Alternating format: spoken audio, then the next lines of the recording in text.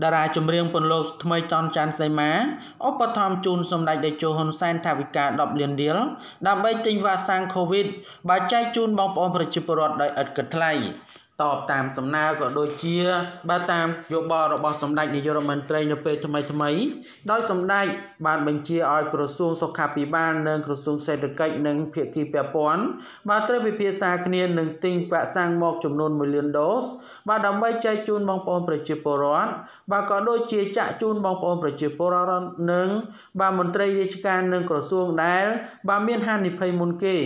ដើម្បីកុំឲ្យមានការឆ្លងរីករាលដាលនៃជំងឺ Covid-19 នៅក្នុងនោះផងដែរតារាចម្រៀងតារាសម្ដែងបានមានទាំងសិល្បករសិល្បករនី បាននឹងអ្នកអុកញ៉ាលោកអុកញ៉ាបាននឹងអុកញ៉ាជាច្រើនរូបបានចូលរួមថវិកាជាបន្តបន្ទាប់ដើម្បីជួយរាជរដ្ឋាភិបាលនៅក្នុងការទិញវ៉ាក់សាំងបានយកមកចាក់ជូនបងប្អូនប្រជាពលរដ្ឋដើម្បីបញ្ចប់បាននៅជំងឺ Covid នេះកុំឲ្យមានការឆ្លងរីករាលដាលនៅក្នុងប្រទេសរបស់យើងបាទដូច្នោះកុំឲ្យប្រិយមិត្តរបស់យើងរងចាំយូរសូមមេត្តាជួយ Subscribe និង Like ក្រោយពីទទួលបានដំណឹងល្អពីសម្ដេចហ៊ុនសែនបានបញ្ជាទៅលើបាបពេកផ្លូវការរបស់សម្ដេចនៅល្ងាចថ្ងៃទី7ខែធ្នូឆ្នាំ2020នេះសម្ដេចបានណែនាំឲ្យមន្ត្រីក្រសួងសេដ្ឋកិច្ចរដ្ឋវត្ថុត្រៀមថវិកា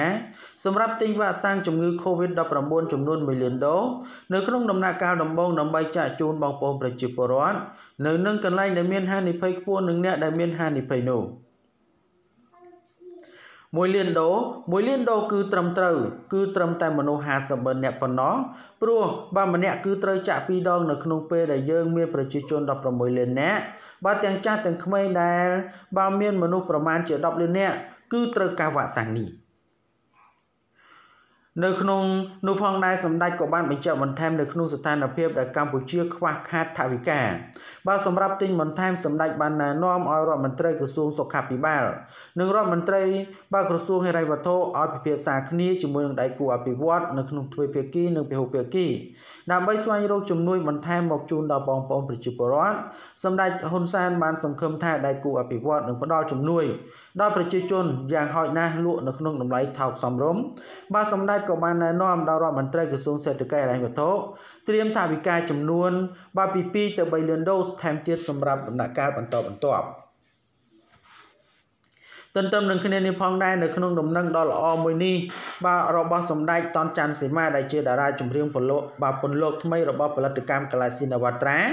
បាទកញ្ញាបានឧបត្ថម្ភសម្ដេចដែលចូលហ៊ុនសែនគឺថវិកាចំនួន10លានរៀល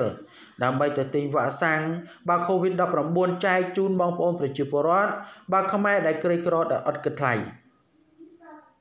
បាទដូចចំណព័ត៌មាននេះមានប៉ុណ្ណឹងដើម្បីទទួលបាននូវព័ត៌មានថ្មីៗបន្ថែមទៀតសូម Subscribe និង Like